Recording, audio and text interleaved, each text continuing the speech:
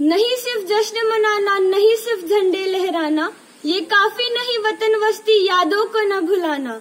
जो कुर्बान हुए हैं उनके लफ्जों को ना भुलाना। खुदा के लिए नहीं ज़िंदगी वतन के लिए लुटाना। खुदा के लिए नहीं ज़िंदगी वतन के लिए लुटाना।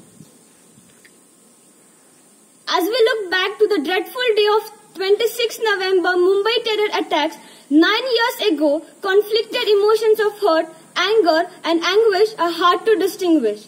It's special heartening to think of those brave men who fought with valor and gave up their life to save those of others.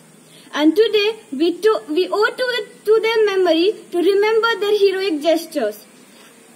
I request you all to pay homage to all the brave martyrs who have sacrificed their life to save the life of others. I request all to close their eyes for two minutes.